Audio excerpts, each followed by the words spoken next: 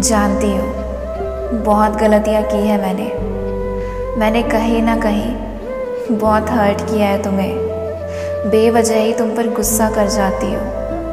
न जाने कितनी रूड हो जाती हो। पर जब गलती का एहसास होता है ना तो तुम्हारे सामने आने की हिम्मत भी नहीं होती मेरी।